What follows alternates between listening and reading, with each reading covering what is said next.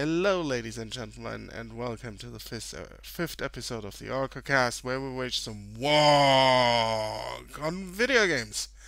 With me is the wonderful Lord Val, mixer partner, and streamer amazing, and Bum Bum, my moderator from my channel. You guys might know him. So, Hello. on today's menu is Streets of Rage 4, MechWarrior 5, Destiny, Yeah. yay, Arboria, and Urtuk. And then we are talking about two pieces of news that made the rounds last week, because if you hear this, we have recorded it on Saturday, and you hear it next week. So, off we go, gentlemen. We start with Streets of Rage 4, I guess. Yep, sounds good. Yeah, I give you the rain, Bum Bum. Alright, so Streets Rage 4, for someone who doesn't know, is a it's a sequel that's been highly sought after, or people really have been asking for it. It's a sequel to the uh, beat 'em ups that started, I think, on Genesis. There was three of them, then a couple of spin-offs, and then nothing as Sega decided that the games are not really viable. And uh, then for the sequels being po- picked up by Dotemu and published and funded by Sega. It's more of a fan recreation of probably what a proper Streets of Rage sequel would be. I've I'm really mixed about it. Maybe because I'm more used to the Capcom uh, beat 'em ups. It feels oddly stiff for modern beat 'em up. A lot of the time, I'm getting hit when I shouldn't be getting hit, and the enemies are not getting hit when they should be get getting hit. Orko, have you played it yet? I played it a few times actually, yes. So I've played on normal difficulty because you said it might be an issue of the difficulty, at least the grapple attacks of the enemies. Yeah, yeah, Yeah. I'm playing on hard. Yeah, it kind of felt a little bit off. Not as much as you say it does for me, but something is not quite right with the hit detection. Yeah, especially when it comes to enemies that come from diagonal. Because when the, it's it's alright when it's on a single plane, but as soon as you're uh, dealing with enemies that are coming from diagonals, from either up or down, coming at you, especially when they have a weapon, it comes really, really into focus when enemies have a knife and they can make this dash for you. And it can come even diagonal, and it's real. It seems like they have like a high priority, so they go through any attack you throw at them, unless it's a star attack. Star attack, it's like a it's a super, essentially a super attack that usually clears the screen or the near vicinity of a character. But yeah, that's I think the major issue and the grabs. Uh, that's I think that's the worst in the second stage. There's enemy uh, which is a policeman who has a taser, and those those enemies have insane priority on their grabs, and the grab, especially on the hard, takes away about third, nearly a half of your health, and it becomes uh, really annoying when they can, uh, because they can ch- uh, chain it. You get up and you get grabbed again, knocked down, and they essentially can just chain you to death. Yeah, can I weigh in here? Um, Yeah. Isn't it, Bam Bam, isn't it that that they're trying to represent the struggle of those type of games, isn't it? Yeah, yeah, but uh, they're doing it the wrong way. I mean, yeah. I mean, I can't. Re- I cannot remember going to the arcade when I was, you know, a kid, and I was like, you know, that used to happen continuously on every single game. You know, they, they, you kick the, the freaking arcade because you couldn't even move, and they would, you know, No, grab the- you the thing is, like- So, uh, sorry, because I've been playing a lot of the old arcade games. You can get them. I play them on PS4. They sell them as a bundle. So I've been playing like the ones you can get, like Captain Commando, uh, Knights of the Round, stuff like that. Because Uh-huh. I I really like those games. Or the there's the ones you can get on, on Steam, the Mystara series, the Dungeons and Dragons ones done by Capcom, and they're really good. And it's like there's you know obviously like there's points where that can happen, but you, you always have an out Mhm. and you have very little tools to really get out here. Yeah. Streets of Rage. Though there's stuff I like in it as well. I really like the art style. I like the like uh it's a it's not a complete slant towards anime like anime manga style. It's like a combination of Western and Asian comics. Mhm. The art style's great. I like the music. I think still though that like when it comes to reboots, I think still uh, Dra- what was it? Double Dragon Neon is still the best soundtrack out there, and I think it's also a better game. Other issue I have, and there's only one character that has a dash, and becomes annoying when you want to close a distance with enemies. is the the girl with the what's her name? Cherry, I think it's her name. The girl with the guitar. She has mm-hmm. a dash. She's the only one. There's mecha- another mechanic I like is the. You remember when in the old games they have attacks that take away health when you use them? Yeah. They have the same here, but it works in a similar vein to recovering lost damage in Bloodborne. Yeah. Where yes, you use this attack. Risk reward lose- kind of thing, yeah. No, no, no. Like uh, the way I mean, uh, you like you use this attack, you lose your health. But from Bloodborne, uh, they took the mechanic where as you attack the enemies, you regain the health lost. hmm But if you get hit, you lost lose all of it. So it's like this risk and reward. Yeah. And I think uh, what they don't teach you, right? Uh, what they sh- should is you need to use these attacks to get through the basic stages. But the way they they don't signify that oh you can regain the lost health from these attacks. You essentially have to realize it on your own as you're playing the game, but you don't have the time really to look on your at your health bar and be like, oh yeah, I'm regaining my health. Maybe I should use, use these more. Yeah. So it was just trial and trial and error. Okay. And I think yeah, really rough game. It needs fine tuning in the mechanics. I think it could be a good game. Like I like some of the stuff that doesn't really get bogged down by the unbalanced mechanics. And if you have unbalanced mechanics in this kind of game, it just throws off the entire thing and it makes a really bad first impression. So if they fine tune these things like the hit detection, the priorities on moves, and make it a bit clearer what the mechanics are, I think it would be a good game. It just needs it needed some more time in the oven, maybe like a couple of more weeks of playtesting actually. A bit of polishing. Yeah. But what I'm saying, I mean, you can actually get the all the skins, isn't it? Streets of Rage one skins and stuff like that. Yeah, which yeah, is yeah. Pretty cool. Uh, their abilities, they don't have any special attacks or anything like that, which is it's just a bit crazy because I mean, you would think that you know you would invest your time into the game and then you could use those skins and then put these skins onto your character and then start playing the, Yeah, the campaign even- all over again. But you can't even do that, isn't it? There's even secrets in there. I found a couple of the you can fight some classic bosses from the Uh-huh. first first three games, Wow. which is really neat. Uh, I f- I fought three of them, though sometimes I'm not sure how to trigger them because at once I trigger them, but the next one I can't. Mhm. There's maybe some like score requirements and stuff. But yeah, what I like, uh, there's the thing. It has more moves, more, more move variety than the old ones because you essentially have two sets of moves for your character, which is the basic ones. Then you have the ones that take away health, and then you have the star, the super move, Yeah, and you can chain the health moves and the normal moves, and you kind of have to. Mhm. I like it. And then you have the typical like quarter circle and double tap forward attack Yeah. to chain into combos like specials. It does like it does bring back memories, man. Yeah, yeah. Like if it's tighter, if it gets tighter Mhm. in design, it's gonna be a really good game.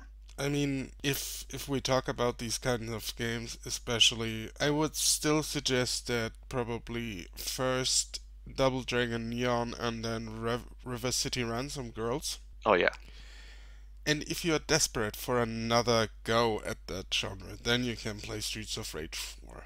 yeah. I would definitely see, wait and see if they patch things out. Yeah. If they see like the feedback from the player base. I haven't really checked the feedback because I've seen like some reviews that have been raving about it, and then I play. Because that's why I played it. I was like, yeah, might as well give it a go. I like these games, and they're been getting into Yeah, reviews, and then I see this, and I'm not sure if there's like a disconnect because I don't know what games are you know the reviewers used to playing, and Mhm. because I come from background of fighting games and those classic games, and I I have probably certain like different expectations. So Ah. yeah, I was a bit disappointed, but you Yeah, know, I mean, it can it- if it- out.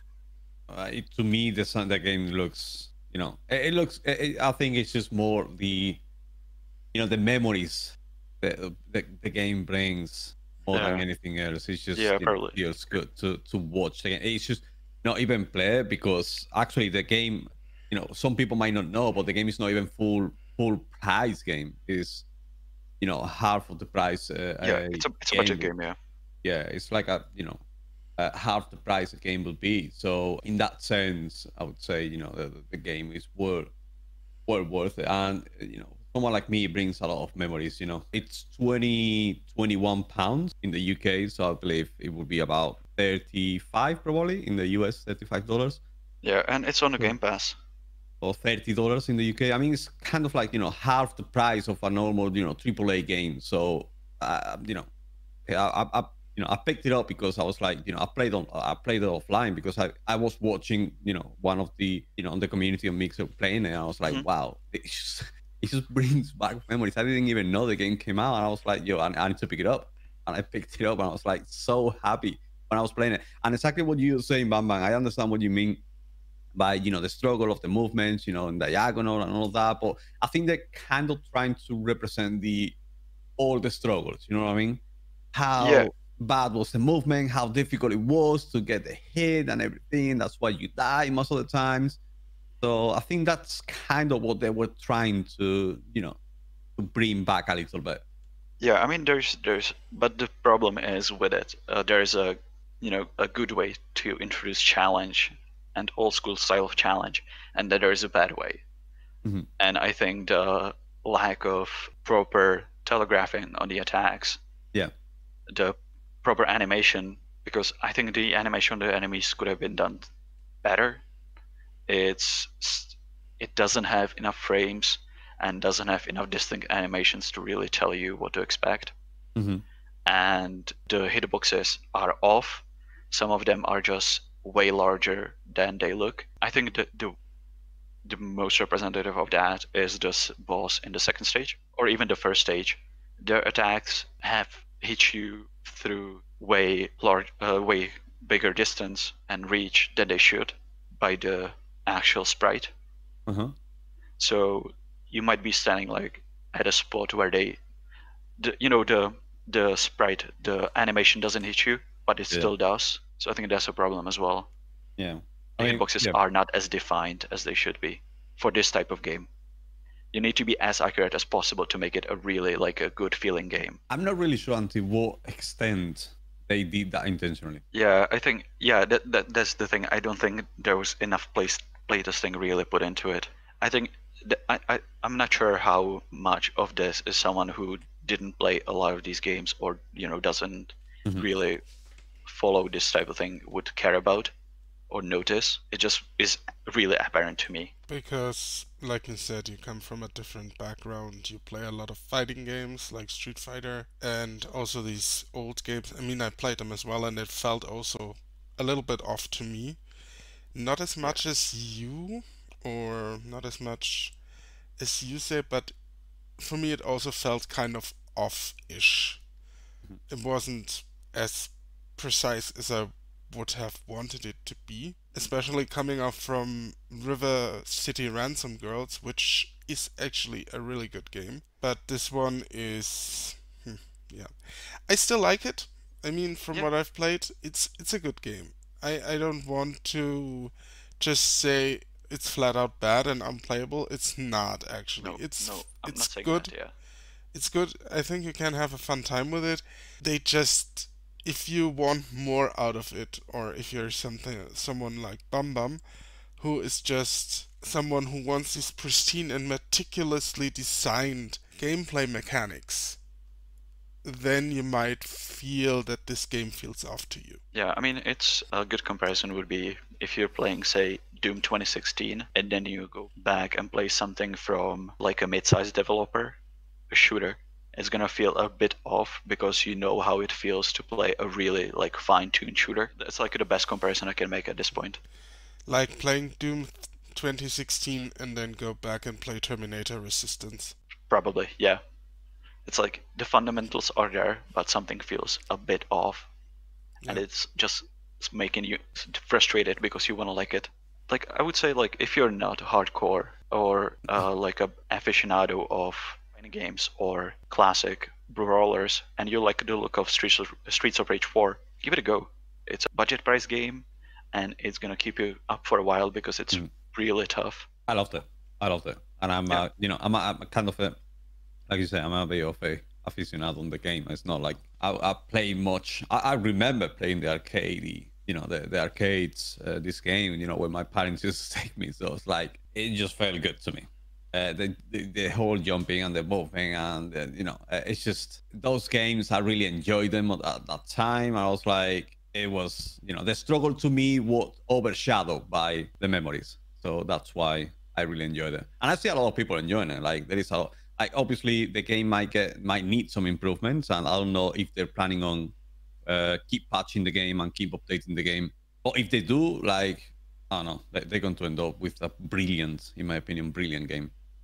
Yeah, if they did tighten up all the issues I have with it, it it's gonna be a really, really good game. Probably even might surpass Double Dragon Neon. I wouldn't be surprised if they, you know, they they, they added some stuff and they kept supporting. If they keep supporting the game, that you know, they, they they already have the base, which is already good in my eyes. I guess that they will even further improve the game and put more stuff. You know, like the like the skins. I think is just a brilliant move. You know, you can get like the eight bit kind of looking skins. You know what I mean? That yeah. is that is crazy to me. I was like, when I watched that for the first time, I was like, oh my god, this is the guy I used to play with. Feels good, man. All right. Then Streets of Rage 4 for everyone who wants a clobber and good time. You guys, it's on Game Pass, so it wouldn't hurt to try it out anyways. So there you go. Moving on to the next Game Pass game. MechWarrior 5. Yay. Yay. You sound excited. you sound very, very excited. Yeah. yeah, uh, MechWarrior 5 Mercenaries. It's, um, I don't know how long, uh, but it's almost been 15 years since the last one, I think. So I was really, really excited to play it. And underneath all the fluff that I think it's unnecessary for it, it's a really good game. It's a mech simulator, and it's not a mecha. It's not a Japanese style mecha game. If you know what BattleTech is, it's this sort of grounded sci-fi universe where there are these battle uh, battle mechs, mm-hmm. and they uh, they ha- the handling of these mechs is more akin to a tank than a you know a Gundam. So you have your legs and torso can move independently, and is this it feels also really heavy and it's slow. It's more it's much more tactical. So that's like the basic description of BattleTech. Um, MechWarrior 5 it's a it's a long way sequel and it's I'm really con- confused what they were trying to do because the gameplay itself, if you've played Battle, is what is it, uh, MechWarrior Online, it plays sort of like that because it's the same developers. So it's a really good feeling gameplay where you control this heavy ass mech with really devastating weapons that feel great to shoot. It looks the part when you shoot a, a volley of rockets at a building, it just disintegrates. And then they tack on a story for the single player, which I couldn't care less for, with a clunky interface if you're inside a mech, the game is great. If you like more tactical, slower action gameplay with some small strategy elements, it's a really good game that also looks beautiful because it's CryEngine. But then they take on this story with cardboard characters and UI that is really confused about what it wants to be. At one point, it's XCOM 2, and then they have you just walk about in a 3D environment, which is wholly unnecessary and just slows the game down. I don't know. Have you any of you played it yet? Yes, I did. Yeah. What do you think, Orko? Yeah, I pretty much also agree with you there. But I would even go so far and say that the gameplay isn't all that hot, even if you're sitting in a mech. I mean, I still remember MechWarrior 3 like it was yesterday. And that was in the heyday when I was also playing the tabletop game and I'm I'm a massive fan of the tabletop game, or was. I used to play it. I should give this orc model nerd glasses at some point. I used to play just about anything that had MechWarrior on it, and I used to love it.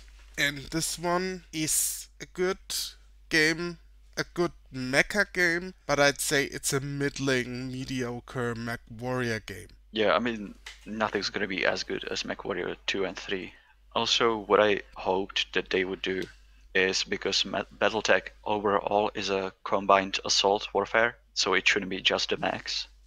And yeah. while your enemies can be, you know, tanks, helicopters, and mechs, you can only take control of a mech, and I think like it's about like high time that they actually did the combined warfare because it would help to illustrate the scale of it because Yeah. it feels weird at times when I'm in Atlas and it doesn't feel like I'm walking in this you know hundreds of tons of metal and guns it just feels like i'm in a mech and i could be in a you know a small like a centurion and it feels the same way the only difference is how fast i can walk it would help it a lot I agree. to, to illustrate the scale it would make it feel grander i think as well I have not played this one yet. I will. But I've played the, you know, the Mecha. Who, who hasn't played? If you had a PC or I remember going to my friend's house on his PC and playing Mech Warrior, man. Like that was amazing. Uh, it just uh, to me, well, for what I've seen so far, it just seems like it's slow and clunky, like kind of like a slow, uh, respecting you know how the the mechs feel, but Yeah. also uh, I I gotta give it. I got one. uh, You know, I found one fault into this game. Uh, and I don't usually. I try to. As you guys, you guys know me.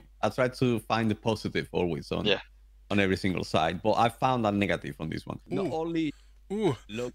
Feel yeah uh, that's very rare of me. But this game i was kind of disappointed for what i was saying because it, it really when i feel disappointed about one game it's like i really express it. Because it's like it feels slow.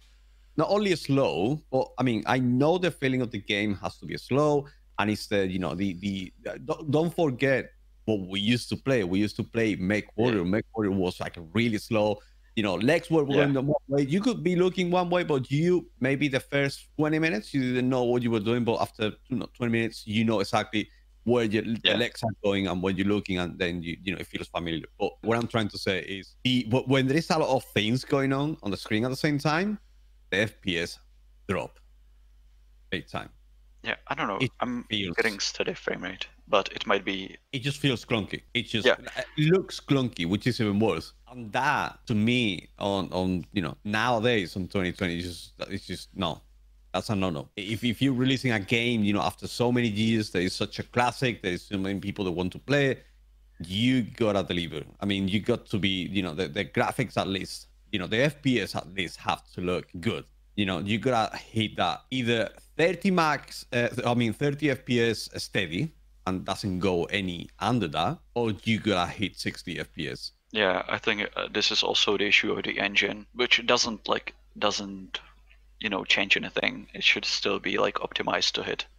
Yeah, uh, everything, everything else, you know, it look, it feels good, looks good. The game, I mean, it's like- but when you're moving into the mech, I was like, wow, the FPS drop, man. Like you can tell from miles away. No, I don't know because like for myself, the f- gameplay uh feels smooth. Like I don't get any massive drops or any drops at all.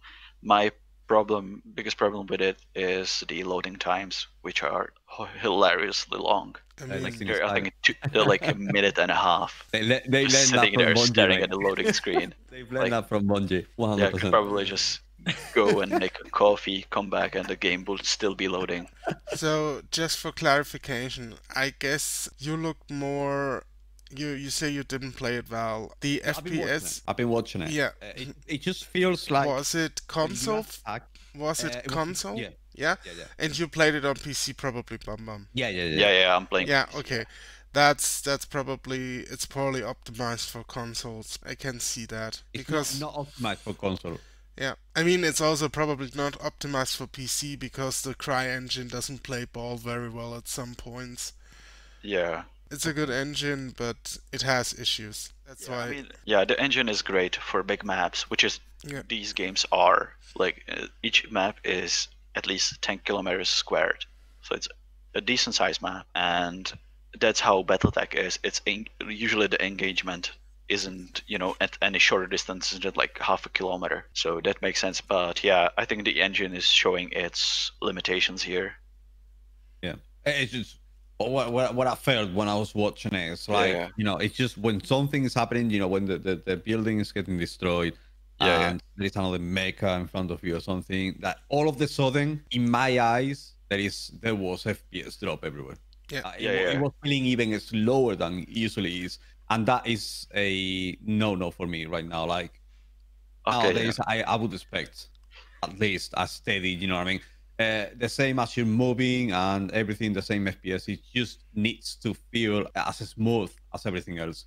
If if every time every single time I'm going to encounter a fight, I'm going to Yeah. go down in, in, in FPS. It's like you know, it puts me off. Uh, that's Yeah. the thing put me off about the game. Uh, Yeah. So that, that, feel that you know that feeling that I got. Mhm. Oh wow! It seems like it's dropping every single time. Um, you know, you are facing someone else. So it might not be the case uh, for console because it maybe uh, me may be better optimized for console or might be a, a PC only or might be improved in the future with a patch or something. oh, Or yeah, as of today, for what I'm saying, it is. You know, eh, that that was the feeling that I got. That was you know That's the one thing I took from the game. that's something I really like. A, a very very critical Val is something we don't have very often. that doesn't Yeah. happen. Very often, no. Yeah. should summon the demon more often. Okay. Also, like I said, MechWarrior 5 is on Game Pass. If you don't have issues with frame rate drops, then check it out. Yeah, I mean it's a. It's not. I- you can play skirmish, which is good. You can completely circ- circumvent the, the campaign. and Just play skirmish and instant action or multiplayer. Yeah. Which is probably which are the two best parts of the game. Just avoid the campaign. It's a slog. Or, I have a better suggestion. You just boot up the strategy game they released two years ago and have fun with that. I still have to play that. Actually, I had it. Then do it. It's good. I mean, it's not also not perfect, but I prefer it probably to that one. Yeah. Or if you have it, just you know install MechWarrior 3. But who has that these days That's except me? That's a good game. Yeah. About for that one. I still have the CD here somewhere. Oh man. Oof. I think I have like a I remember going to my friend's house, you know, playing it on Yeah. his PC, man. It was just such a, you know, great game. pre- I don't have them here, but I'm very sure I still have the big boxes for two and three back home. Nice. Oh god, I miss those big game boxes. I miss them so Oh, yeah. much. I'm With not the sure. that- manual and everything inside. yeah, yeah, Yeah. yeah. Just ginormous PC boxes. And then Whoever, whoever read the, did you ever read the the, the manual? yes, Yeah, but I you- uh, you have to read them actually. Yeah, Really? Yeah, yeah. I never read. There them. were I no- like, oh, that's cool. Any pictures? No, nothing. There you go. they they there were no there were no tutorials and nothing. You had to read them. Yeah. I still remember the manual for Diablo 1.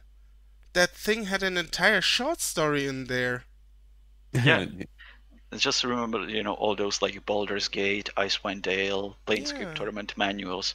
Those things had like short stories, art, and some of them were like invaluable because if you wanted to make up like a proper character, they had like suggestions how to make a decent character that will not screw you over.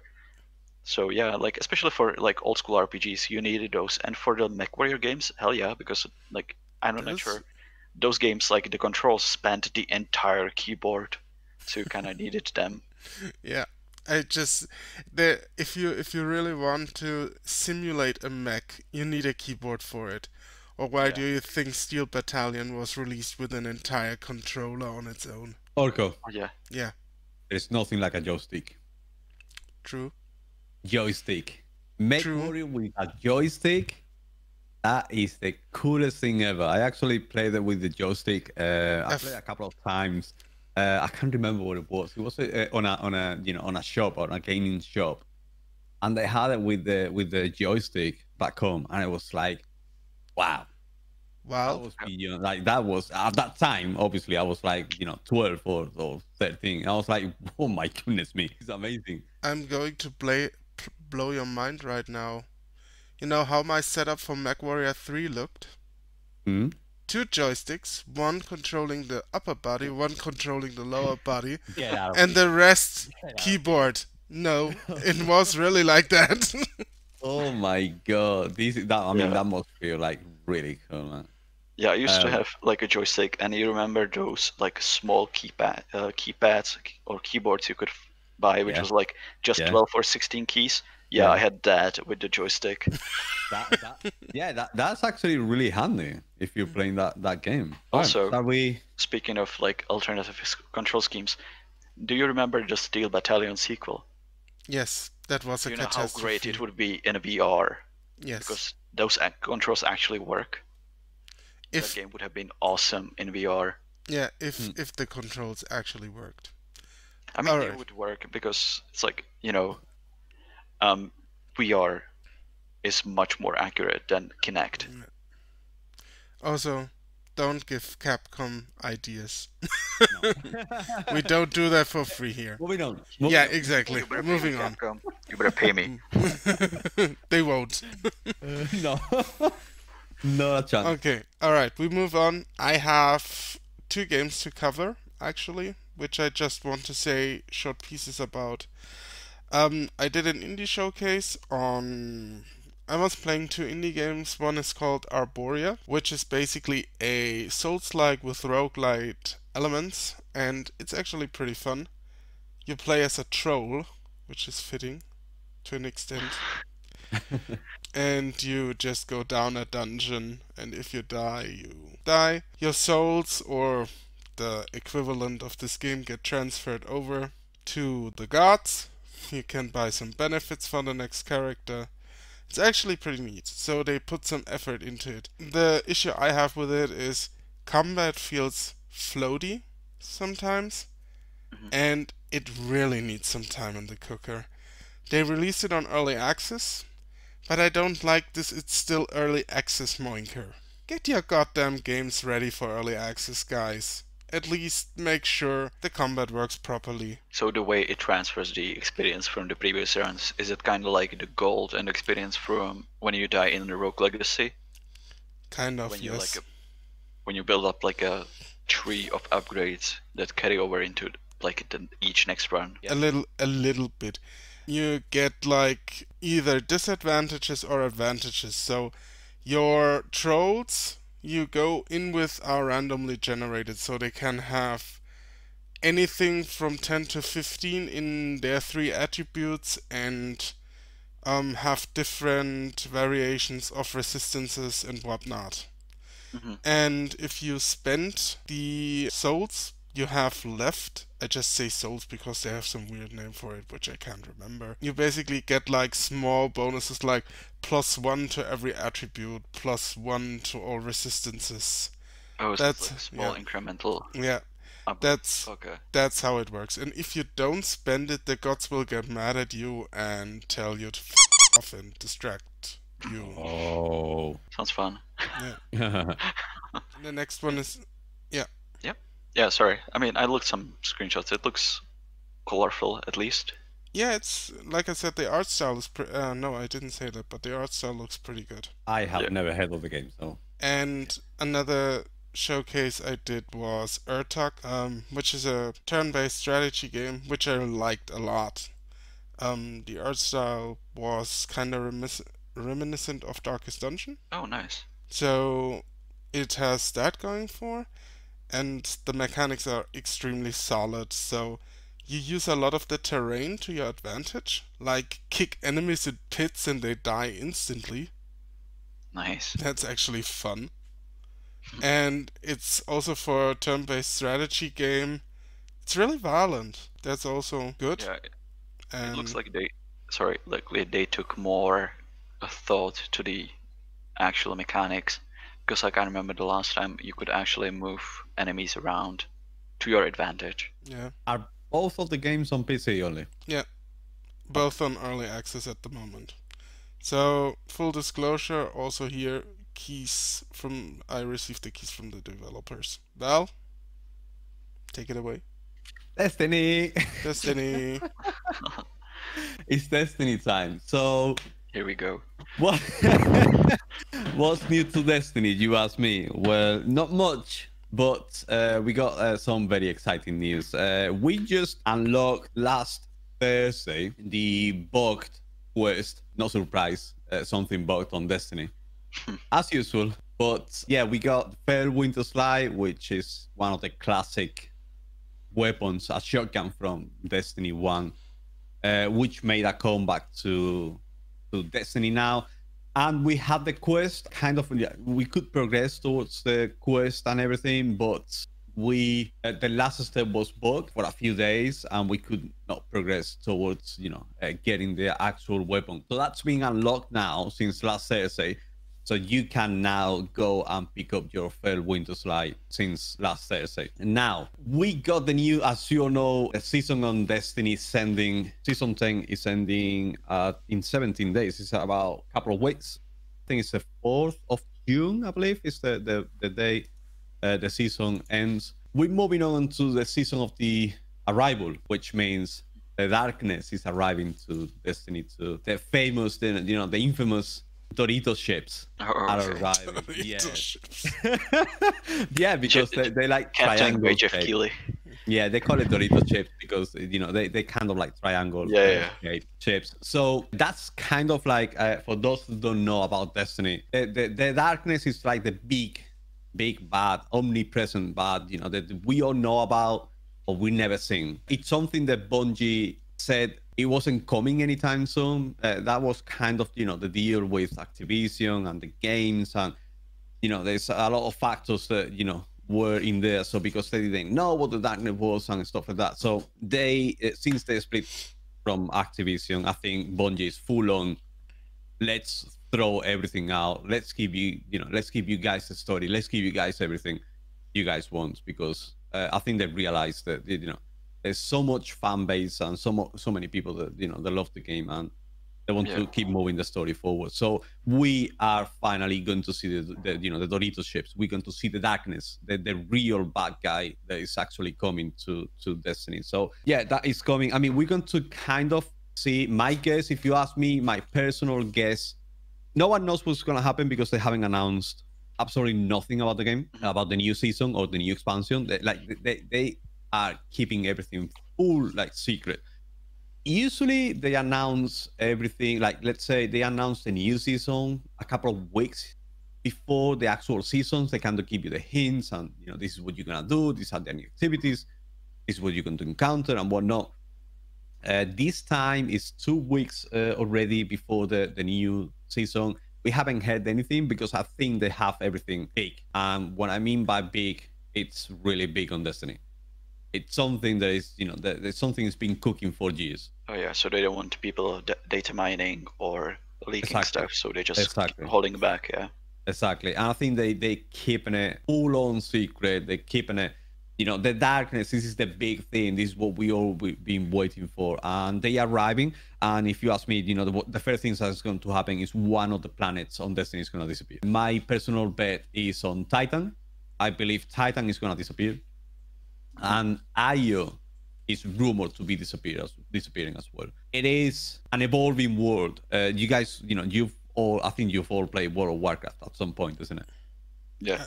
I actually have never played World of Warcraft. Oh, bla- that's blasphemy. That's blasphemy.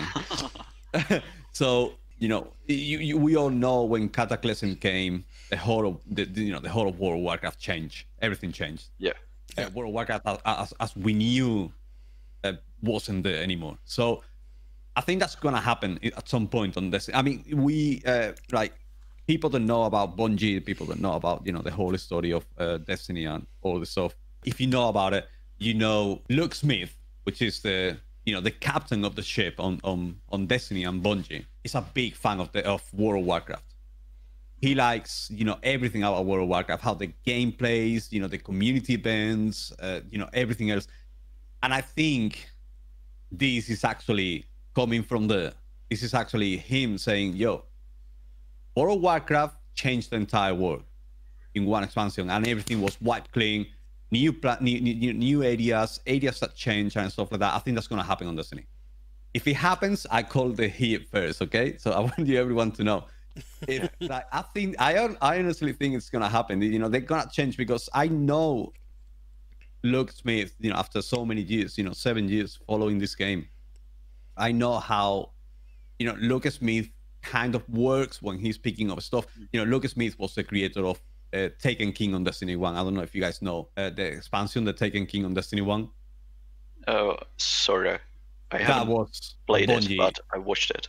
Yeah. yeah that was Bungie at, the, at its best like Mhm. the eh, the you know nothing gets any better than on destiny than the Taken king that was the biggest expansion the, the, the you know the most changing expansion on the entire game, and that expansion was created by Luke Smith. Oh yeah, cool. So if you are a fan of Destiny and you're a fan of you know the entire you know the story and world and lore of Destiny, Mhm. you have to be excited for what's coming because Luke Smith has taken he's taking Destiny again. He is in charge of what's gonna happen from now on. I am quite excited because you know we're gonna learn about the darkness and he's the one saying you know let's throw it out there. This is what we got. This is what we're gonna be showing. The biggest stuff is gonna probably be coming on the next expansion about September, October. This is when uh, Bungie releases the big expansions on on Destiny, like the big heavy, you know, Mhm. full price expansions. I think what we're gonna see now is gonna be an introduction to it. There's going to be, you know, you're gonna see this pyramid. You know, uh, maybe one planet is gonna disappear. I would say Titan is gonna disappear on the next season. Uh, if you ask me, it's it's a bit of a bold move because you're gonna get rid of one planet for no reason at all, and in the middle of the, you know, the the, the game of the the middle of the expansions because you know the big expansion is uh, you know this is just it's just a season it's not a, an expansion they might go and say you know even though we release Shadowkeep, we're gonna get rid of one planet.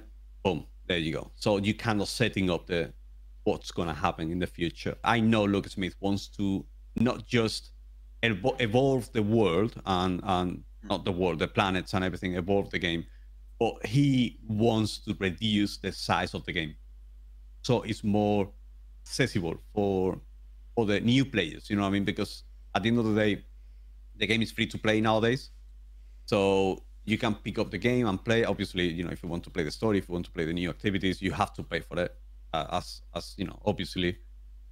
Um but yeah uh, he's trying to reduce the game. So those new you know kindergartens you know the new the new players don't feel so overwhelmed by everything that is going on. You know so many planets and so many activities and so many things.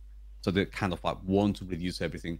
And that's why i say at least a couple of planets are going to be destroyed Yeah, I, I mean, I, I played it about a year ago. Mhm. I got through the story, through the core story. I finished also the Osiris ch- uh, quest, and then I think I got on a Mars, and that's where I stopped, because I was like, yeah, I'm.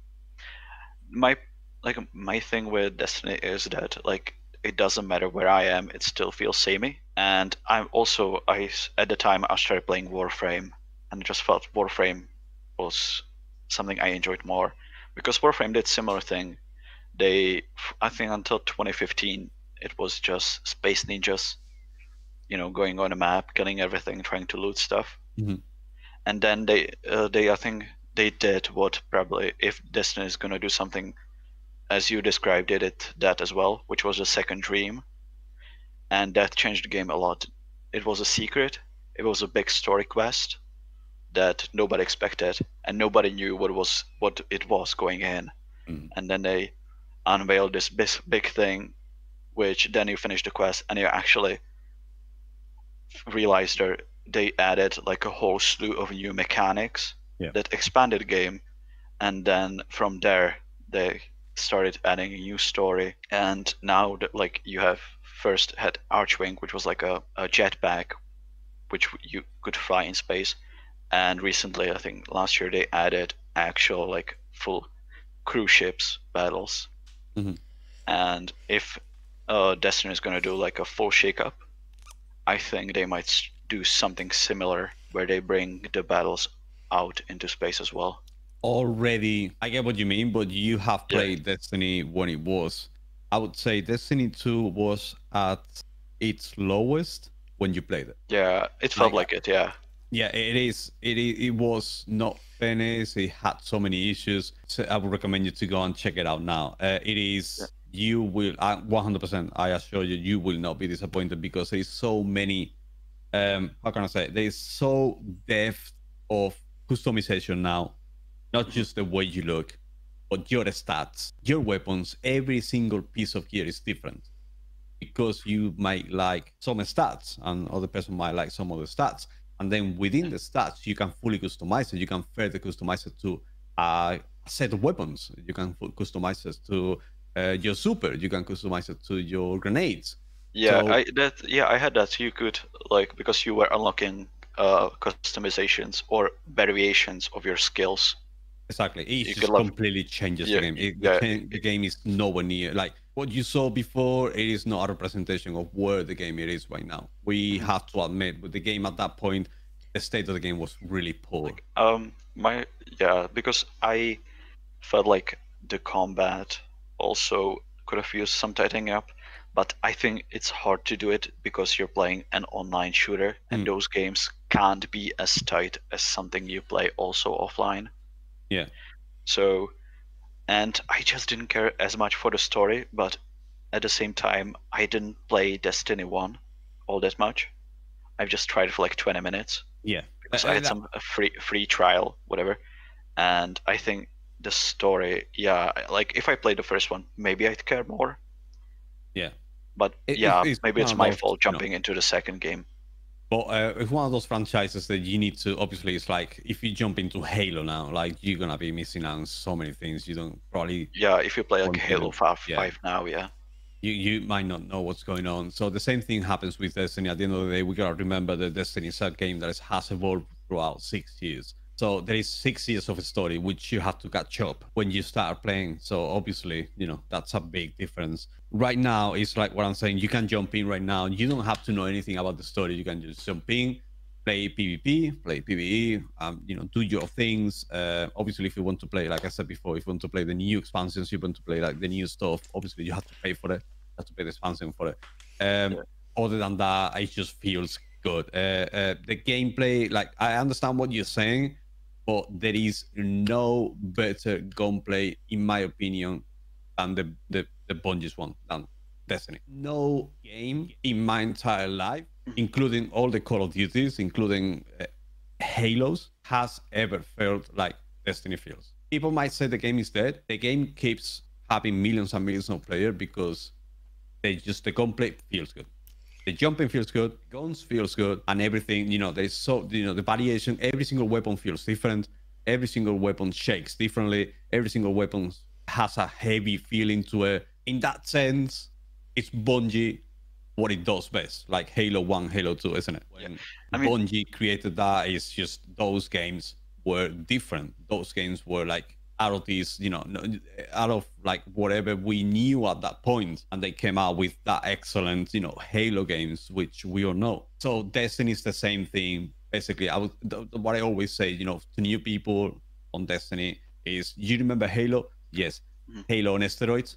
There you go. That's Destiny. I mean, there's only a few like in-game shotguns that feel as Bungie shotguns. That's that's true Uh, It's thing, it's Bungie guns. Obviously, you have to like it. If you're a Call of Duty guy and you like how the weapons, you know, you need the weapons to feel realistic. Obviously, Destiny is not a game for you because you're shooting aliens. No, no, No. because I like Halo games. Yeah, like I, I- I like kind of- Halo yeah. I kind of tend to go. I like shooting aliens rather than human beings. So that's why I think I kind of tend to go for these kind of games. You know what I mean? So uh, I, in my inside, is something feels bad. Even though I like Call of Duty and stuff like that, you know, I'm not the biggest fan, but I do like playing them. But uh, it just to me, kind of inside me, something feels good about shooting aliens rather than other humans. You know what I mean? Also, I Um, think the biggest pro I have for Destiny 2, like from what I've played, the raids and the like the dungeons, those are is- those are fun. Those are fun. Are we doing carries? I don't know if Orko knows about it because Orko has been kind of around on Mixer quite uh, quite often. I don't know if you've seen me doing uh, the braids, Orko. Yes. When we're doing the carries, I mean, though those are intense moments, and those this is something I I would say every single person playing uh, Destiny has to experience at some point. That's why we do the, you know, I do the raid carries almost daily because it is experience. You know, when everyone starts jumping when we finish the the raid or something, it is not easy. You need to invest a good, you know, couple of hours. It's not like World of Warcraft. Obviously, World of Warcraft, you need probably your entire day to clear one raid. I don't think um, anymore. I think it t- t- like these days they're much shorter. They, I think they, they realize that not a whole lot of people have time to finish like a six, eight hour raid. Yeah. So they, I think mo- the biggest ones tend to be two hours max. Yeah. Yeah, but, but yeah, it, with experienced team, if you are teaching a new team, you probably spend about five hours on it. So basically, it's exactly the same thing as Destiny is a bit shorter than that. Around, I would say, a clear of a kind of like normal rate would be around one hour, one hour and a half. If you're carrying someone, you probably spend about three, four hours on it. So it's kind of like half an hour, one hour less than World of Warcraft in that sense. Obviously, you're just shooting people. You don't have a million abilities with you know ten people around. It's only six people, and that's it. But uh, the the the if you haven't done a raid on on World of Warcraft before, you don't know the feeling. You don't know how what you know the feeling of beating a boss and being able to get a gun, and maybe you get the gun that you've been waiting for for Yeah. so long, and uh, that is something uh, that's why we do this. That's why we do the carries and everything because I want everyone to experience that, you know, that uh, that uh, you know excitement of of finishing the boss and finally getting something. I just had a flashback to Essence of Virtue from Final Fantasy XI, where they have to nerf it to, to, to the ground. Do you guys know about it? No. It was a, a world boss that Square Enix decided it's gonna be a good choice to make it about a 22 hour raid, Wow. And that was like a the developer's choice. And then the a news of people passing out at their computers came out, so they had to change it. And then every time somebody found a way to cheese it, they fixed it. And then they released a guide, and the guide's not viable two days after they posted it because they fixed the, the strategy they used in the guide oh, that's to make it faster. I mean, To- those were the days, man. Today in Masterclasses of Game Design, Essence of Exactly. Virtue. Okay, so I have two more or one more question to Val about Destiny 2. Uh-huh. I'm curious, what what do you think? If you look at Destiny 2 in its current state, how long do you think will it be still around until we see Destiny 3? Or do you think Bungie will just forego Destiny 3 just to keep Destiny 2 alive and continually expand it and build on it? I mean, we could, I could go on for hours about this subject because it's been, you know, I kind of like, I'm, as you know, I'm a big fan of Destiny. I'm always around looking for, you know, uh, what's new and whatnot. Um, but I would say the short answer is Destiny 3 2022, Okay. in my opinion. Okay. That's that's a fair answer. We can expand on this question maybe next time. And Because I could spend another half an hour talking about why In- and the reasons why. So we may, maybe we might leave it for the next episode, uh, for the next uh, podcast, and I can further, you know, kind of explain why I think exactly. it's gonna be around 2022. Exactly, that's what I'm saying. Also, in terms of gunplay, Tarkov has the best gunplay, fight me. Also, in terms of go ahead, no. Um, also, in terms of uh, dead games, if people say Destiny 2 is a dead game, they never played Culling 2, I guess, because this is a nice segue into our next That's a segue topic. and it's a segue and a half. It- it's still, we still have a long, long, long, long, long time of Destiny. I don't think Bungie is going to drop that IP anytime soon. But let's talk about the news. Culling is back. The game no one really asked for is back. what do you guys say? Um, we'll see for how long it's back. It might just return to the grave very soon. yes, it probably will. Did did you did you see that Val? Because this is actually interesting. This is more your territory for now because it's actually releasing on Xbox or is released on Xbox already. Okay, I haven't heard of the game. So the the thing is to give you a good laugh. The Culling was an early access game years back before the entire battle royale craze started, and it was a battle royale game. It was actually a decent battle royale game. Then Okay.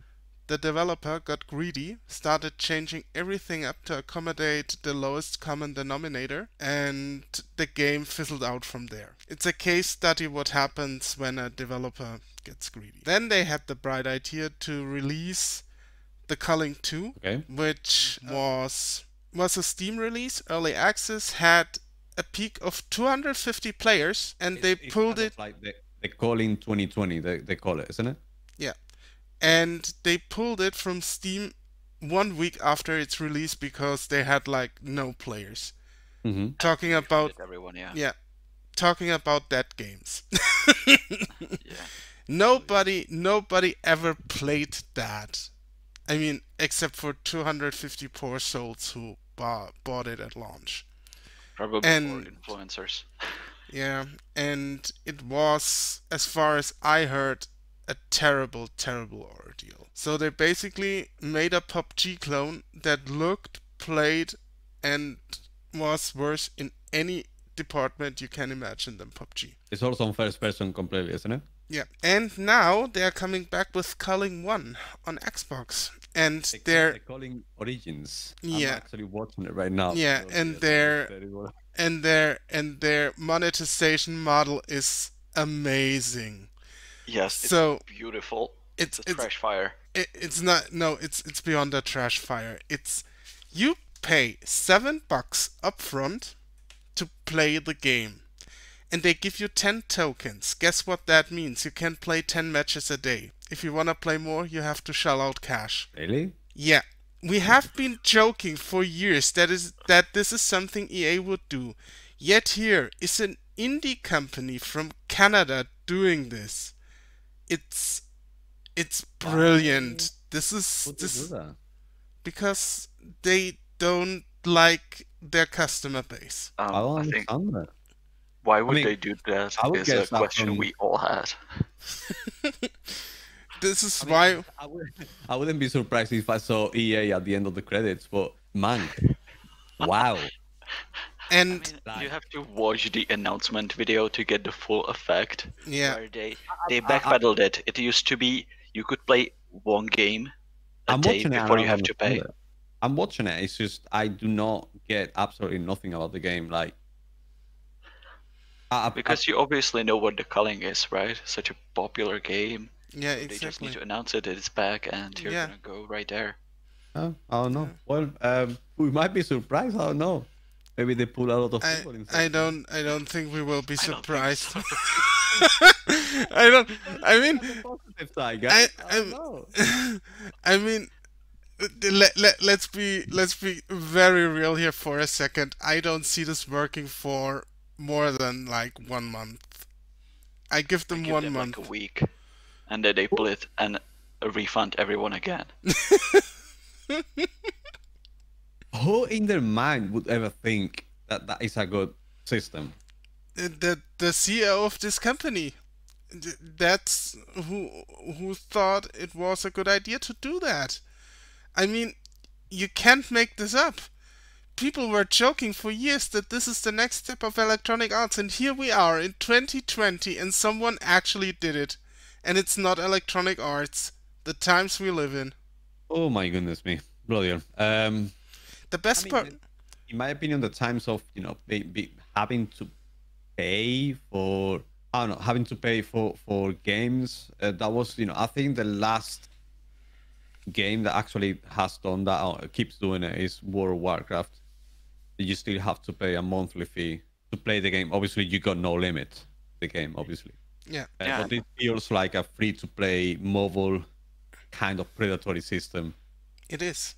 Yeah, Yeah. it's straight up like a you know I mean, knockoff PUBG Chinese mobile game. they they also have I mean to to their honor they also have passes like I think you have to pay four It's like dollars or something dollars a month to get like a full pass, yeah so you can play like a month. So like they have like a subscription pass, yeah but And- they still like even if it's like just eight or whatever dollars, it doesn't matter. You still have an upfront cost on what is essentially a free to play game.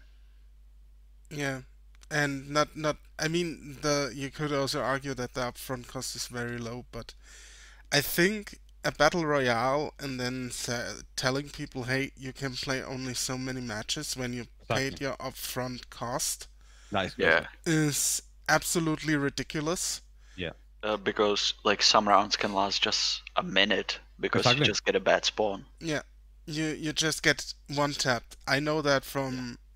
I mean, Tarkov isn't really a battle royale, but it happened to me once or twice, spawning in, walking one step, and then getting a headshot. Yeah, And that's culling that can happen to you as well there. You can just die out of random shenanigans the game pulls on you. There, there, there go your 10 tokens, right? And then they ask you either to money up and pay one dollar per game, so per round you play, or you buy one week pass or you buy a f- essentially a month pass, a monthly pass. Who thought that would be a good idea? It's- To their like- defend, to their def- I mean, I, ca- oh god. sure you want to go there. I'm trying to see something, something, um, Positive. It's alright. You can do that. and they offer unlimited passes for seven days or 30 days. So, yeah, they do, but still. I mean, I'm trying to look at the positive side of this. And Yeah, but no one purchased the full unlimited uh, plays for the Yeah. game. Seven days and 30 days. But seriously, I can't even. I mean, let's you do Warzone free. but So why Oh, let's be honest. Why would anyone shell out cash for 7 days or 30 days when they have Fortnite, when they have like Bum Bum Set, Warzone, when they have a trillion of better options Yeah. to play you Battle Royale? own a PUBG Yeah, or any version of it, so just Yeah, exactly. instead. you just you just need to you just need to look around a little bit and just get a better game. I think there are free downloads available that are better than this. Yeah. Yeah. I mean, a PUBG looks exactly the same as this game, what I can say. Uh, like there is absolutely the map looks the same, the the health bar looks the same, you know, your your inventory looks the same. It's just what were these guys thinking about? I I think they were they were earlier than PUBG though. So if that's really calling one, they use as a framework. That's It's just it's just that no one remembers the culling. That's actually the Yeah. issue. Nobody gives a toss about culling. They had something going, they were ahead of its time when it was released. Yeah. They were Battle Royale before the entire craze started. The thing is, it was pretty niche because it was more focused on melee combat than uh, shooting, Yeah, yeah. and it did that very well. I will give it. I will give them that. They did that very well. Then, they, like I said, started to change everything, and now they become insane. Yep, they Frenched it up. Frenched enough. Oh god.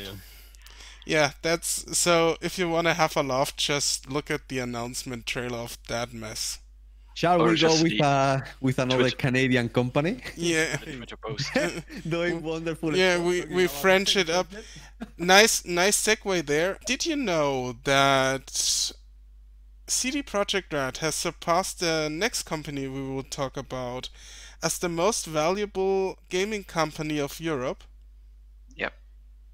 And it makes sense. Yes. because they don't carry just their own, own games on their store, but also third parties. Yeah. So that's the thing. I think it, it mostly comes from their store, but I'm not surprised because they're also, for investors, they're much safer because they're steadier than, say, those big fluctuations where Ubisoft's last two big projects just crashed and burned, which was the In uh, yeah. Ghost Recon Wildlands, and what was it? Wildlands, Breakpoint, Breakpoint. Breakpoint. Yeah. Yeah, just crashed and burned. and Division Two was also yeah, just underperforming. yeah, heavily. I mean, you can think of the games what you want, but financially they weren't very Yeah, they Well were received. financially. Yeah. Yeah. So, and as as of now, Ubisoft has updated the terms of services. Yep, really poorly. Uh, Saying yeah, about well, this. poorly, poorly for, Yeah. Um. for So kind yeah. of like very beneficial for the company. yeah, I mean that's always how it is. Those contracts are always more beneficial to the you know to the ones who are writing it than to you Yeah. who's accepting them. But yeah, they worded re- really poorly their new TOS update. the terms of service update that made a lot of people think that uh, any user created content and they didn't really well defined user created content belongs to Ubisoft. So a lot of people co- uh, thought that you know your YouTube videos, your streams, whatever you make about their games is owned by Ubisoft, but it's not that. It's just they poorly define user created content. It's fragmented within the contract what actually they define that as. So it mostly pertains to stuff like your character within the game, your decals, say if you play crew one and two, whatever like vinyl or decal you make for those cars. Mhm. If Ubisoft likes it, they might nick it for the next game, or use it within you know whatever uh, So games basically gives them authorization for them to, let's say, if you create a character or something and it looks really good or whatever, like let's say they want to use it on their next game, They don't have or to they ask want you. to Yeah, make a video Or- uh, uh, on, on promoting the game or something, they can Yeah, use yeah. a picture of your character. Yeah, Yeah, It's, it's or giving them, it's giving them the, the you know the the, The permission to. authority of Yeah. Being able to use it without you asking for any monetization, isn't it? yeah, yeah, exactly. yeah. yeah. So the thing. basically, in an extreme case, I imagine just you are, uh, let's say you are a streamer, you are an aficionado of racing games, you play the Crew 2 a lot. Mhm. So what would you want to do? The what what would be the first thing you want to do? Is to put maybe your logo of your stream on your car, on your favorite car in the game. So let's see, Ubisoft sees that and they say, Whoa, that logo looks really damn good. And they take it and they just put it into Crew 3. I mean, it saves Unless you the. a, unless it's a trademarked. Like yeah. Yeah, that's exactly. the thing. Like if you have a trademark, you can fight it. Yeah. And they will have to remove it. Yeah. But if it's you know if it's like a really cool design, and it's something you made for for a specific car, and yeah, they can just take it and use it in Crew Three or whatever if they so choose to. Yeah. Unless it's your like trademark design. Yeah. That's exactly what will happen. Yeah. So, broadcasters out there, streamers out there, you better get those trademarks in. Yeah, just copyright your logo, whatever. Yeah. Yeah, isn't that kind of like what Blizzard does with Warcraft 3? Uh, Warcraft 3? Yes, it Um, was. It yeah, was for the kind maps, of yeah. the same for the kind maps. Same thing. They can they own they basically on, on the terms and conditions. So basically, they own every single uh, user Yeah. created map, isn't it? Yeah. but they c- Okay. also like yeah. It Okay, it goes the even. there is it's like those maps Mhm. they also n- can take the idea for the map say so they don't uh, so they will not lose a rights to something say like dota Exactly. because dota started as a warcraft 3 mod Yeah. Yeah. And So then those guys uh, went and did uh, their thing independently now under these new terms of conditions for the warcraft 3 reforged if somebody comes up with a mode like that blizzard will own it that's way more insidious than what ubisoft did actually Yeah. because then they don't have to you know it's like pat on the back it's like you did great we'll take it from here Exactly, because the the more like Bam Bam said, the more insidious thing about this is they basically also own the mods. Because Blizzard is still salty about Valve beating them to the punch when it comes to Dota. Yeah. And they, if you if you make a mod in their engine with Warcraft 3, they just own it. Period. Mhm. And That's why there are so many meme mods now for Warcraft Reforged. Just people taking a, you know, taking a shot at Blizzard. Yeah, a huge shot. That's actually the the thing. That's why I actually say the updated TOS for Blizzard are still worse than Ubisoft. Ubisoft is just ultra poorly worded, Yeah, yeah. and I mean, I mean, the, the, the issue with it, yeah, I essentially like because of full disclosure, I like I have background education in law, but it's mostly civil and uh, criminal prosecution. So I don't have like a whole lot of you know knowledge about the business law, but uh, going through like a couple of articles and uh, the video goes to show you from Hague Law, who goes through the stuff. It's it's really poorly written, and I don't think I think it's not intentional. Just whoever wrote it didn't really understand the idea of what actual user-created content in games can be. Yeah. So like the definition is fragmented into several different pieces under the UG, uh, UGC tag. Yeah, and I also work with law full disclosure. I translate law, texts, contracts, etc. for a living.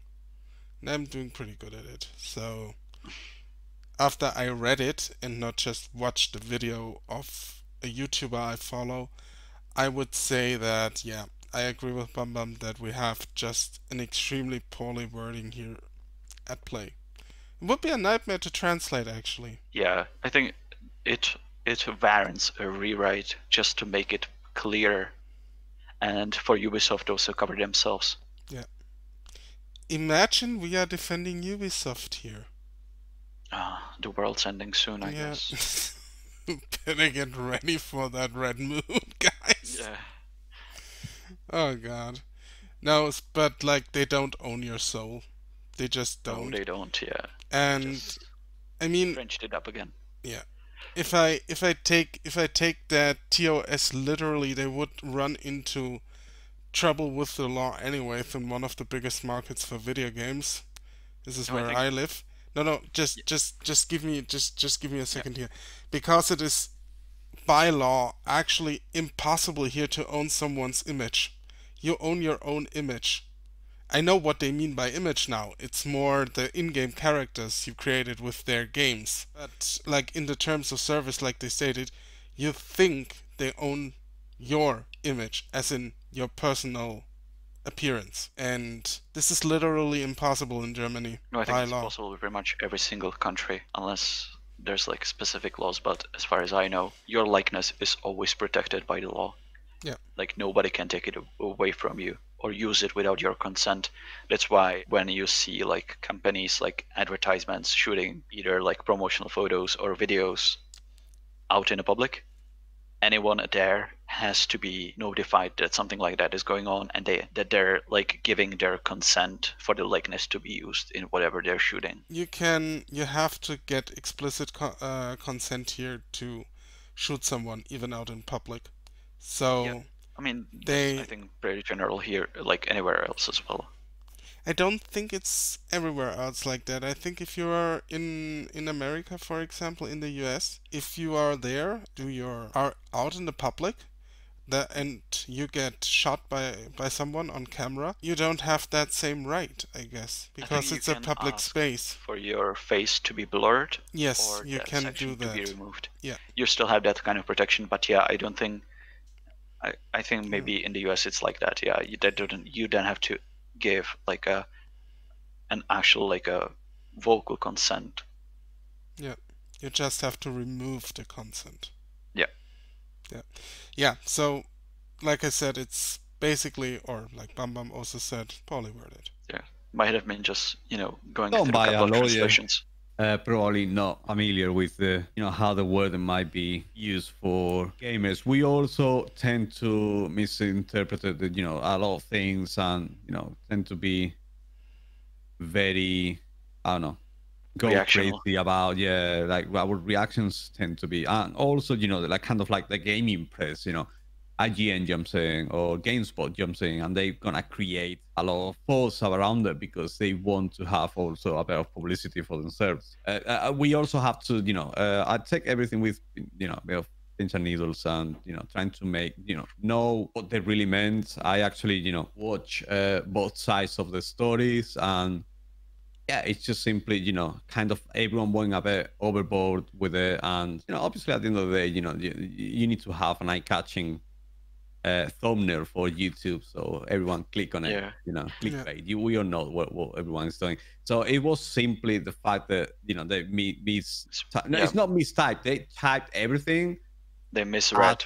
yeah. exactly as if you weren't you know if you were your person was the person in real game you know what i mean Yeah, Uh, not in real game your person in the game so they are wording everything as if you are that guy in Wildlands. You know what I mean? Yeah, yeah. Not uh, you as a person, or you as a streamer, or you as a YouTuber. So Yeah. it's kind of different to uh, the first impression. Obviously, when we spoke about it, uh, was they, they doing something you know absolutely crazy and kind of like it kind of reminded me to what uh, Nintendo is doing, isn't it? Nintendo. Yeah, they something similar. They kind of Oh yeah, everything. the Nintendo partners and stuff. yeah. Exactly. I kind of like reminded me to that. I was like, oh, that's gonna be another Nintendo, you know, thing going on." So it's gonna be spreading out now. They're going to be, uh, that's gonna be the new thing. Everyone, every company is gonna be owning whoever is playing the game. But no, it, it happens to be just a misunderstanding, a bit of force around it because people want a bit of clickbait. Yeah, it's Oh, it's yeah. a it's a it's it's a you know mistake on both sides. On Ubi's side, it's just poorly written. Whoever Mhm. you know went through it should have written more than just a first draft. And also, like on the reactionary side of YouTubers and those who cover news media, is a thing that not a whole lot of them have even a basic understanding of how to read a legal contract. Exactly. Yes. And they, And- they, they, they tried the clickbait. We all know, you know, how the Yeah, practice yeah. goes. You know, you, you want Yeah. the clickbait, you want to get the, the, those views, and you want to get that. Uh, at the end of the day, I think it's just way too dramatic. Uh, when I read the other side, you know, this guy, um, Yeah. You actually was you, Olga, you sent the, the videos for me to watch, you know, both sides, and I was like, when I watched the second one, which is the, you know, the lawyer kind of, you know, he knows what he's talking about. He's like, Yeah. yo, guys, Just chill. yeah. Just there's chill. Absolutely no issues here. There's nothing crazy. It's just poor wording. Don't worry about it. You own your stuff. You own your channel. They're not going to own you by your means. Like absolutely nothing. Just don't worry about it. You just keep Yeah. doing what you're doing. Or if they like how you paint your character and how they might use it in one of their videos, they might use it in one of the games. Simple as that. That's all there is to it. I mean, it's basically kind of also. They could, if you don't have your own likeness in it, or uploading footage from gameplay, I guess they could just, for the lack of a better term, steal your footage and use it. Because it's theirs without crediting you. That's the worst that can happen, I guess. Well, at the end of the day, I think you know uh, a YouTuber uh, or, or, or, or a streamer. If you see that as a way for you to make money, you're completely wrong. Let me tell you. If Mixer goes and use my footage now, because Mixer actually do that. If you guys know, Mixer actually uses footage from actual streamers and do a story about it and they do a post about it. I don't see no streamer trying to claim that because at the end of the day, you have to look at that as It's a they actually yeah they're actually promoting you as a you know as a channel. They're promoting you as a person. They're promoting your youtube channel. They're promoting your your your mixer or twitch channel yeah, because- that's the thing. if if they use my my footage i would you know i would not try to get any money out of it. I would be proud of you know they actually thought of using my and this is actually going to help me in the long maybe not today because maybe today they make a lot of money because they posted the video on youtube and you know they're making money but uh, it's kind of like the mentality of you know youtubers and, and streamers i need to make money out of this Mhm. not You everything is make money right now out of this because that might actually help you get 300 new people 300 new subscribers so you know uh, it's, it, i say that's a completely different thing so it's also Yeah. the mentality that people want to use it for Oh no, yeah, here. Like Ubisoft isn't gonna use like videos. Like the contract just makes it clear that it doesn't, but it comes out of it that essentially it's just the actual in-game content. Uh, content. It's not. It doesn't pertain to anything outside the game you make. So any videos, streams, whatever, they will never touch it. Okay. yeah i don't think it's uh, you know it's a bit a bit eccentric how Also- everyone went and jump into it Also, yeah, though I think it like we, we should still be wary of these changes, just Yeah. because you know they're get they're trying to get a closer grip on whatever like content is within their games. I would just keep an eye on it, just in case it doesn't start creeping outside the games. just we- like Bumble said, it, it lays the ground floor. I- It's perfectly fine now, but it lays the ground floor for something more insidious that might come. Yeah. Yeah, might essentially come. it's like give finger, take they take hand. Yeah, Yeah, exactly. So for now, it's alright. You can accept those terms of services, I'd say. If you don't do it, you lose your entire library, as far as I know. Yeah. Mhm. So you should do that by August 12th, is the deadline, I think. I think yeah. And you can go from there. So yeah, that happened. We defended Ubisoft. Mhm. We we They're actually not, they're did. not that bad. I mean, I think I'm I'm starting to be an influence on you guys. Mm, we we influence each other and I like that. But like I like I said in a previous podcast, I call stuff like I see it and if Ubisoft did nothing wrong, they did nothing wrong. Yeah, Yeah, I mean this this was a moral thing, like because people were reactionary. Yeah. It like as I said, it's like it's fault on both sides. But at the same time, yeah, I- this was a bit of a reaction to this. I mean, I understand both sides in Yeah. this battle because gamers and YouTubers, especially, are afraid of mm-hmm. just more restrictions being put on them in these days. And I fully understand that. That's why we get these overreactions. And especially on YouTube, where making money these days is kind of hard. We have the entire shenanigans where people go after each other's sponsors, which is also absolutely crazy. We have the apocalypse. We have a lot of stuff happening on YouTube, so I kind of understand where they are coming from. We don't really have these issues on Mixer because it's a rather small community. We on the other hand, obviously Ubisoft wants to tighten their legal team and stuff so they can so they don't have to worry as much about stuff that can happen to them because the contracts uh, was also or the TOS was also updated in that Yeah. regard. As I said, it's not, as you said, it's not that big a deal, but keep an eye on it still, Yeah. just in case something more changes. I don't think nothing will be changing anytime soon from them. Unless, yeah, unless they do like six drafts They- of it. they get. I mean, it makes me laugh how much backlash from anything they do they take. It is. And yeah, I actually agree with you on that, Val. Ubisoft is of the big companies we have, or of the very, very established publishers like Activision, like EA, and hmm. whoever else is there, is still one of the more moderate ones. They still play into the same playbook. They still do the same shenanigans I'm not fond of, but they're still let's say, more low key on that. Yeah, I mean, And- we, we have to remember, you know, EA is the worst company to work for. For how long was it? Three years in a row. Yes. And then, that, that is beyond ridiculous. yeah, and then there's outlandish people like Xaviant who blow everyone out of the water. Yeah. That thing still makes me laugh. Yeah. It's just so stupid. We gotta go in depth. We gotta go in depth with the whole monetary system of that game. Yeah, yeah. I we, we need to keep track of how that goes and where it is in one week. I just want to So give are an doing update. a post-mortem next week or post-release? Yeah, we are doing we are doing a post mortem or post release next week. We need to keep track of that situation and how it goes. Guys, I think that's a good point to wrap up everything. Yep. Yep. You are amazing. This was the Orcocast episode no six. We are on episode six actually. Yeah. Oh my god. I said five in the intro. Doesn't matter. It's episode six, people. So if you disagree with us, thump the video thoroughly down. I still love you. I love my two beautiful co-hosts, Lord Val over here, streamer extraordinaire, and Bum Bum over uh, down here, who is a moderator extraordinaire. And support my friend Val over at mixer.com Lord Val Gaming. Support me at mixer.com slash Orcosaurus. And you can support Bum Bum because he doesn't stream, but you can support him anyways by just saying hi in the comments to him.